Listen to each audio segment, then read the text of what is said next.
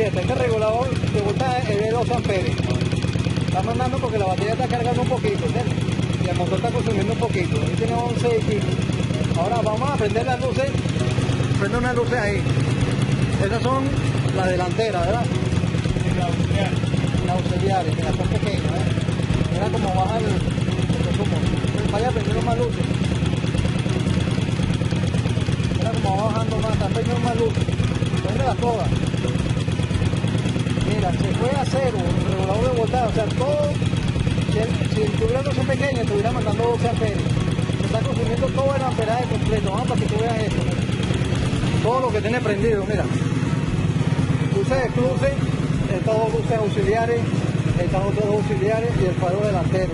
Y allá abajo tiene dos más, Mira todo lo que tiene prendido. Entonces pregunta que por qué se le quema el regulador de voltaje. Porque tiene demasiada luz, demasiado consumo. Es lo que, está, lo que queda para, para el pobre regulador está exprimiéndose. Y el estator también, ah, mira, también tiene lucecitas aquí abajo.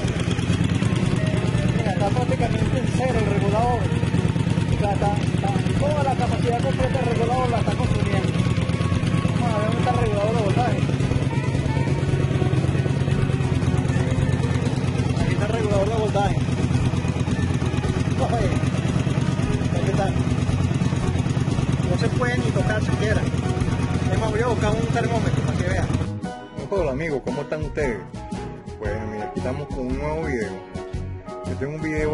muchas personas me han preguntado que por qué se queman los reguladores de voltaje, o sea, también son, son ¿cómo se rectificadores. ¿Por qué se quema el regulador de voltaje? ¿Por qué se pone tan caliente por qué se quema constantemente y a cada rato?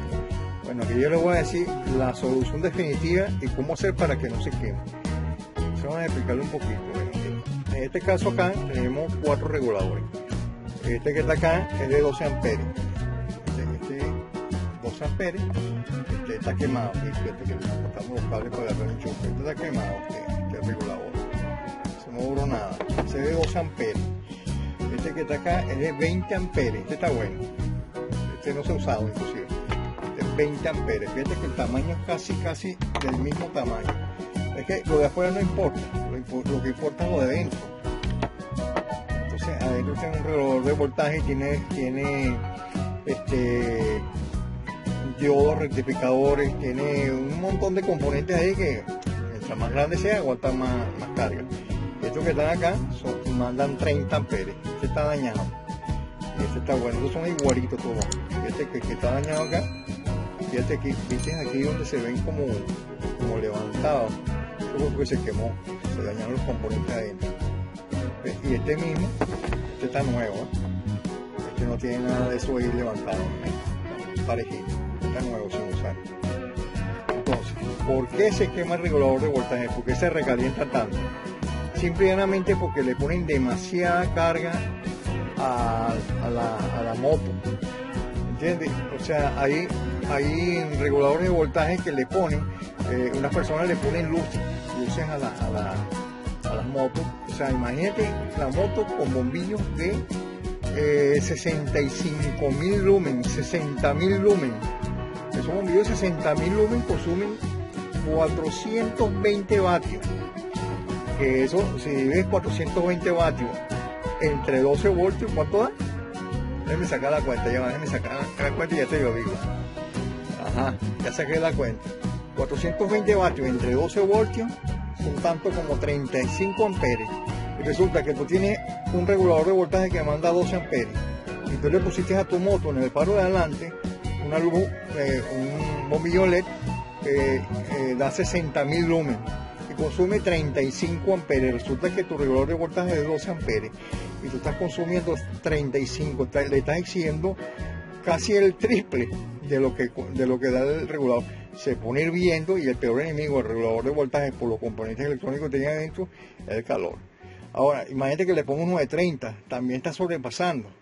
Con un solo bombillo, ahora acuérdate que la moto, aparte del faro de adelante, tiene los bombillos atrás, tiene las dos luces direccionales traseras y las dos luces direccionales delanteras. Y aparte de eso, le ponen también luces por la parte de abajo para que el piso y qué sé yo cuántas luces más.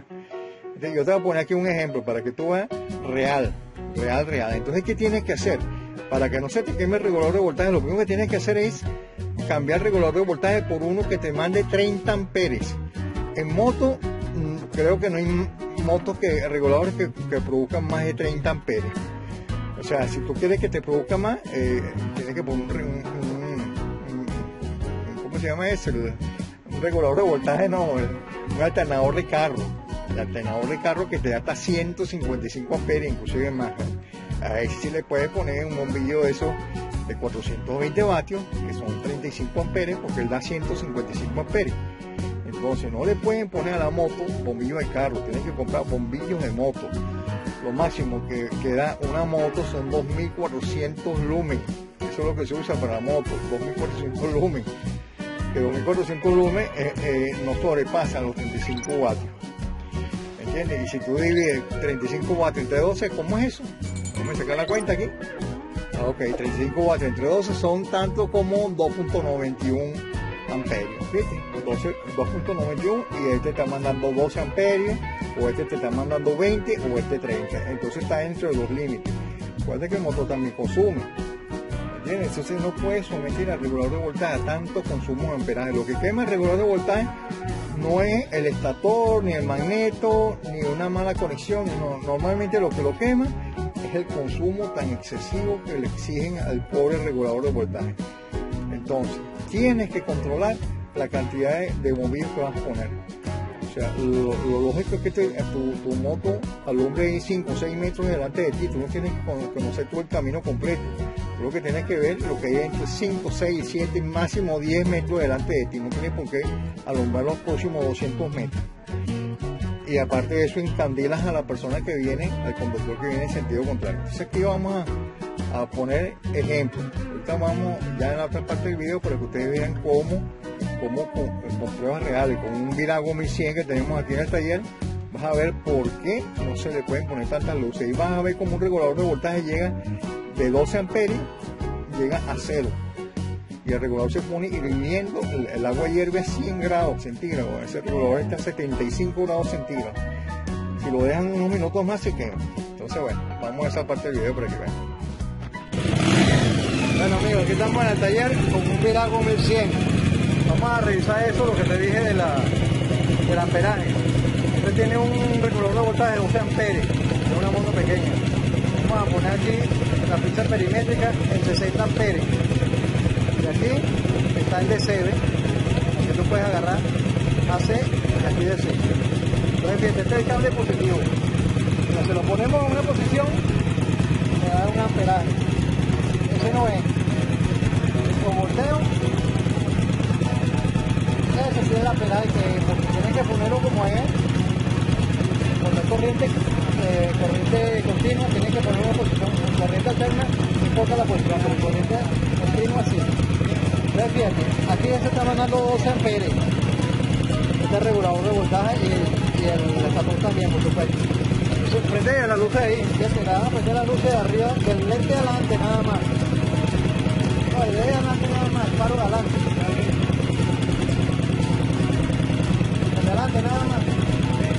No, grande, grande de arriba. Ah. Está consumiendo casi todo el amperaje de la, de la corriente. Fíjate, Ese es, ese, ese es este bombillo acá. Este es de 150, 150 vatios. Este bombillo LED. Entonces fíjate que se Yo la persona pregunta que por qué se le quema el regulador de voltaje, porque lo llevan al límite. Ahora, acuérdate que esta moto cuando corra, el motor va a consumir más amperaje. Fíjate todas las luces que tiene. Fíjate, estas luces de acá, estas luces de acá, estas de acá y las de atrás. Y las de abajo. Entonces imagínate cuando prenda todo, cuando prenda todo, más bien va a estar faltando de amperaje. Entonces bueno, aquí ya se le quemó una batería y se le quemó un regulador de voltaje para que entiendas por qué tu regulador de voltaje se quema, que tiene demasiado consumo. Vamos a seguir con otra parte del video para que vayan a aprender un poco más. Fíjate, este regulador de voltaje es de 2 amperes. Está mandando porque la batería está cargando un poquito, ¿entiendes? y el motor está consumiendo un poquito. Aquí tiene 11 y Ahora vamos a prender las luces. Prende unas luces ahí. Esas son las delanteras, ¿verdad? Las auxiliares, que las son pequeñas. ¿eh? Mira cómo baja el, el consumo. Vaya prendiendo más luz. Mira cómo va bajando más, está prendiendo más luz. Prende todas. Mira, se puede hacer un regulador de voltaje, o sea, todo, si, el, si tuviera luces pequeñas, estuviera mandando 12 amperes. Se está consumiendo todo el amperaje completo, vamos para que tú veas esto. Todo lo que tiene prendido, mira. Luces de cruce, estas dos luces auxiliares, estas otras dos auxiliares y el faro delantero. Y allá abajo tiene dos más. Mira todo lo que tiene prendido. Entonces pregunta que por qué se le quema el regulador de voltaje. Porque tiene demasiada luz, demasiado consumo. Entonces lo que, queda para, para el pobre regulador está exprimiéndose. Y el escapón también, ah mira, también tiene. Mira, está prácticamente en cero el regulador. Está, toda la capacidad completa del regulador la está consumiendo. Vamos a ver dónde está el regulador. Aquí está el regulador de voltaje. Oye, aquí está. No se puede ni tocar siquiera. Es más, voy a buscar un termómetro para que vean. Mira, ahí está el regulador de voltaje. Vamos a, a tomar una medición con, con un láser, mira. Mira la temperatura. 74, 75. 75 grados centígrados, prácticamente hirviendo. Luego la voltaje apenas tiene que tibiarse, no ponerse tan caliente. Es porque se le está expidiendo demasiado. O sea, un regulador de voltaje de 12 amperes. Imagínate. Este es un Virago 1100 que le estamos haciendo el motor aquí en el taller. Lo acabamos de hacer, lo estamos probando. Este es de un militar, le decimos el comandante Lucecita. Míralo ahí para que lo conozcan, mira. Comandante Lucecita. Le encantan las luces en la moto. Pero entonces hay que ponerle un regulador de 30 amperes para que no se le quemen, no se le quemen tanto los reguladores. Entonces, porque él va a prender todas las luces. Entonces, este es el Virago, ¿eh? Aquí no tenemos, vamos dando un poquito de humo porque el motor está recién hecho. Pero bueno, este es mi. Vamos a poner un poco más de gasolina. Esta, esta foto que está acá, esos son bombillos verdaderos. Lo estoy tomando yo de, de eBay y de, Amazon. Portales de venta en línea. ¿eh? Son, son 420 amperes. Eh, sí, sí, vatios, perdón. 420 vatios. Esos son una luz muy poderosa. ¿eh? Esos son de 120 mil lumens. Eso es 420 vatios que está arriba. Y este de abajo, ese es de 60 mil lumens, que son 320 vatios. ¿verdad? 320 vatios son casi 30 amperes. Cuando dividen entre eh, 320 entre 12 y te da, ¿cuánto? Vamos a ver, te da 26.66 amperes. Demasiado, consume prácticamente todo el bateaje del, del, del pobre regulador. Dígame, tiene un regulador de 12 amperes. De 12 amperes. Dígame si tienes una moto pequeña que da un regulador de 8 amperes, imagínate, tú le estás diciendo 26 amperes. Y, y el de 420 vatios 35 amperes. Entonces no, no tienes que olvidarte de eso. Tienes que usar bombillos especiales para motos. Y no puedes ponerle mucho. Alumbra lo que tú necesites realmente. No, no tienes que alumbrar los próximos 200 metros porque puedes ver para adelante todo lo que hay. Hasta las hormigas las quieres ver. No, no. Tienes que ver nada más los próximos 5, 10 metros como máximo. Es suficiente para que veas el camino. Entonces, bueno, seguimos aquí. Estás viendo un bombillo que es especial para, para motocicleta. Este es un bombillo especial. Y me hace un bombillo que te da 1600 lumen y consume 8 vatios. 8 vatios entre 12. ¿Cuánto es eso? Vamos a sacarlo aquí. 8 vatios entre 12 serían 8 entre 12 voltios. 8 vatios entre 12 voltios sería tanto como 0,66. No llega ni a un ampere. ¿Estás viendo? Y con 1600 lumen, bueno, alumbra más o menos. En motos que tienen dos, dos bombillos, entonces serían 3600, eh, 3200 lumen. ¿Entiendes? Y aquí tienes otro bombillo especial para moto que es de 35 vatios. ¿Ves? Eso te da más o menos como 2400 lumen. Dice aquí que son 6.000K la intensidad de la luz. Entonces, es que si sacamos aquí 35 vatios, vamos a ver, 35 vatios entre 12 voltios, eso tanto como 2.91 amperes, fíjate, está, está decente. Todo porque le, consume 4 amperes al regulador de voltaje y todavía le quedan 8. O sea, la moto de repente agarra 2 o 3 amperes para el motor, o sea, para poder mandar la chispa para la bujía y todo eso.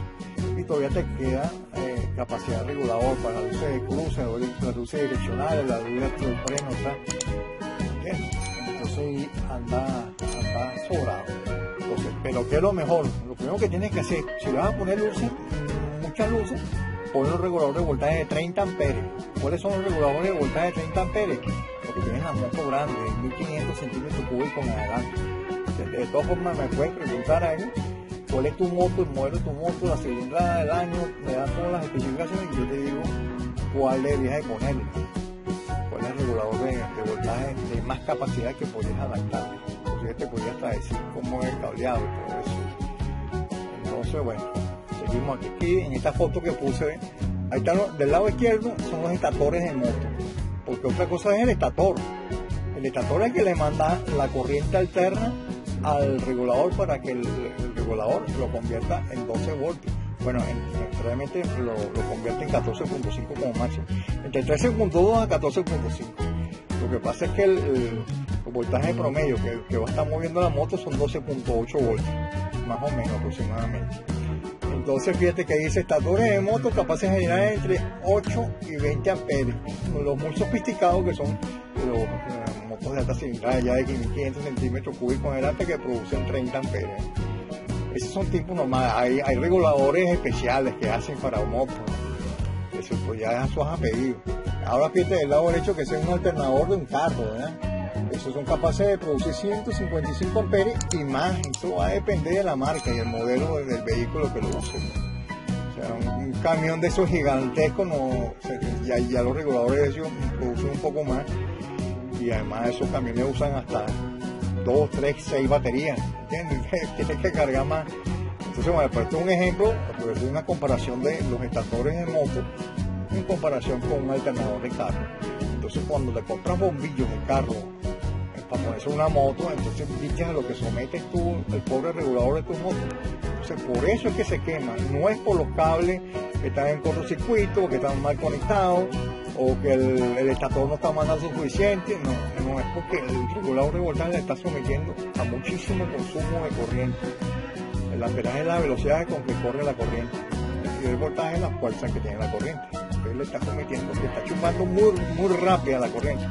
Mientras más amperaje consume, más rápido está sacando de dentro el regulador de voltaje la corriente y eso es lo que hace que se recaliente paso excesivo tan rápido de la corriente por el regulador de voltaje. Si el estator también sufre, si consume, se puede poner un regulador de voltaje a una moto que mande 30 amperes, pero resulta que el, estator lo que manda son 12, 15, 20 como máximo. Entonces tú le exiges que te mande 30, el regulador trabaja más fino porque no lo está sometiendo a tanta a tanta presión de amperaje, pero el estator se termina quemando porque está dando todo lo que da también. Entonces fíjate todo lo que produce por cambiar, por poner bombillos LED y ese tipo de bombillos, faros y cosas que no son para moto. Cuando vas a comprar tienes que fíjate que sea de moto, tienes que preguntar cuánto es el bateaje. El bateaje lo divides entre, entre los 12 voltios y te da el amperaje.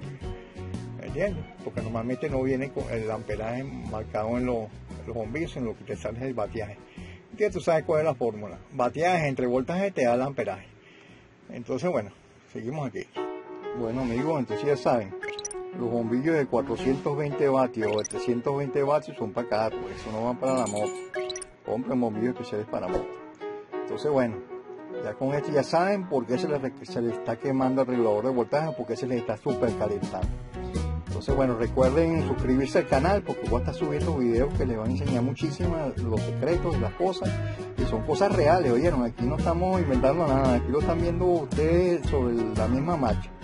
Entonces suscríbanse, denle like, muchos likes para que esto se posicione en la parte de arriba de los estados y recomienden a sus amigos porque seguramente sus amigos se lo van a agradecer porque muchos amigos seguramente están con problemas y no saben cómo resolverlo y estos videos les van a ayudar y activen la campanita todo para que le, avise cada vez que yo subo un video Bueno, entonces nada, cuídense mucho, ya saben que la vida es bella. Y chao.